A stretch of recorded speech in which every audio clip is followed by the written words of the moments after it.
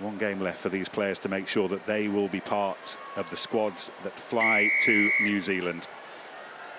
England as favourites, Wales as hopefuls. And Snowsill gets Wales underway. And it's uh, an unconvincing early clearance from Zoe Harrison. Taken on by Packer. England adventurous from their own 22. Scarratt releases it. And then the chase from Kildunne and width provided by Lydia Thompson. And Lucy Packer can get England recycling again inside Wales 22. Harrison with some width to Rowland. Width and space and opportunity that she does not miss. Meantime, all eyes on the forwards. And this time the line out pocketed nicely and away they go.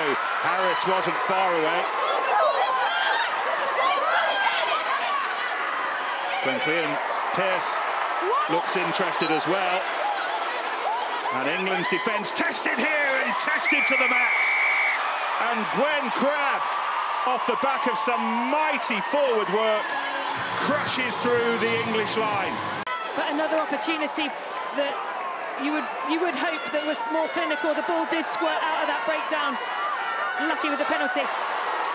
Now one of England's super strengths, but they take it quickly. Packer to Scarratt to score.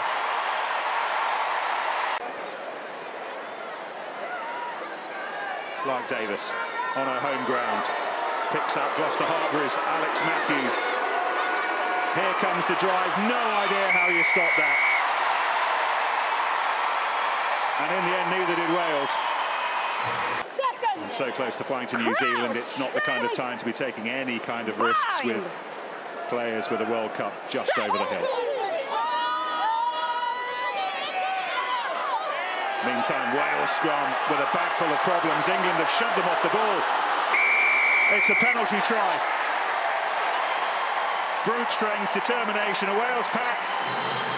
Shorn of Callender, but sent back on roller skates. And England have four before half-time. Harris was there with the tackle. Lots of white shirts away to the left-hand side. England, for the time being, happy to keep it tight and burn. Determined defence, led again by Hannah Jones, the captain, but now surely weight of numbers. Far too much white away to the left for Wales' liking. And the fullback, Ellie Kildunne, skates over to end this first half on a high for England.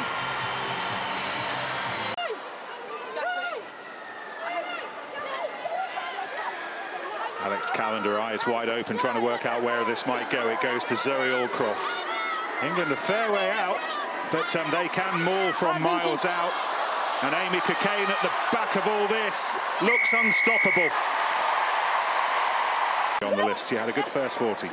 Oh, she did. Set piece. Oh, and another break, and this is Cockayne again looking for a second, almost in as many minutes. Did brilliantly to get the ball away, and Rowland will score.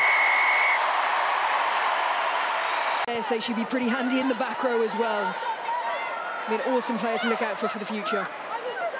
Cockayne goes long. Gathered in by Aldcroft. Scarratt scores. And England, for the second time in the match, going for plan B off the line out. Claudia MacDonald as well, player of the match performance against the USA in Exeter. And now Botterman, and now for the hat-trick, Rowland. Lots of new faces on the pitch. It's one of the more familiar ones who's been with us from the start who has the biggest smile.